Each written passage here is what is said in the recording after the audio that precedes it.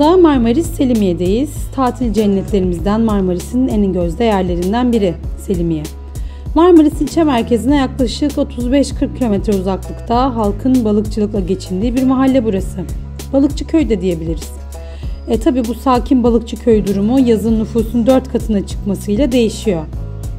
Türkiye'nin en önemli yat limanlarından biri olan Sığ Liman Koyu da burada yer alıyor. Müzik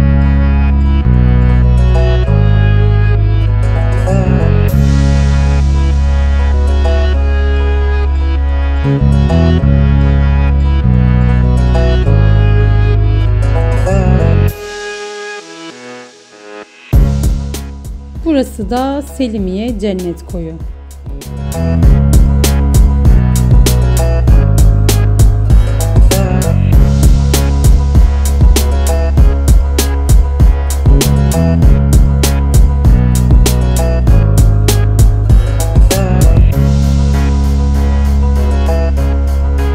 Ve gerçek bir cennet. Selimiye Marmaris arasında tesadüfen gördüğümüz bir koy. Sakin, sessiz, kimse yoktu. Harika bir ortamı vardı.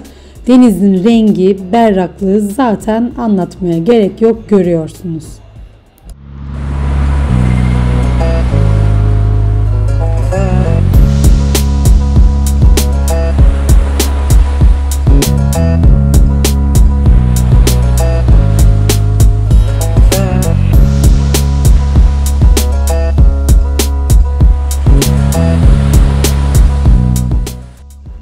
Meşhur Kız Kumu'na.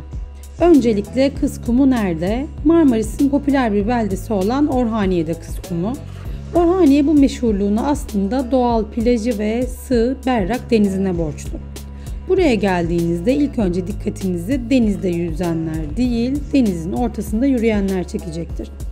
Burada da Kız Kumu'nun efsanesi devreye giriyor.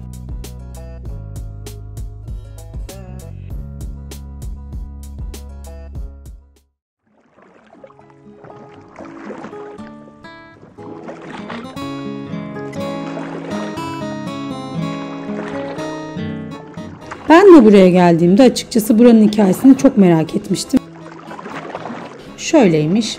Efsaneye göre eski zamanlarda bir kralın kızı fakir bir balıkçıya aşıkmış. Kral kızını balıkçıya vermemiş. Kralın kızı balıkçı sevgilisiyle gizli gizli buluşmaya devam ediyormuş. Kızının balıkçı ile gizli gizli buluştuğunu öğrenen kral çok sinirlenmiş. Balıkçı denizden geliyor. Kızınız kumsalda onu bekliyor. Balıkçıya ışıkla yerini belli ediyor. Kızınız ile delikanlı gün ağarana kadar aşk oyunlarına dalıyor sözleri kralı çok öfkelendirmiş. Bir gece kızını kumsalda yakalayan kral askerlerine de ışıkla balıkçıya işaret vermelerini emretmiş. Delikanlı ışığı görünce atlamış kayığına. Kumsala doğru kürek çekmeye başlamış. Derken kız askerlerin elinden kurtulmuş ve sevgilisini kurtarmak için koşmaya başlamış.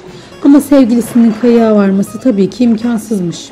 Atmış kendini sulara ve o anda bir mucize gerçekleşmiş efsaneye göre. Kızın adım attığı her yer kuma dönüşürken peşinden koşan askerler denize gömülmüş.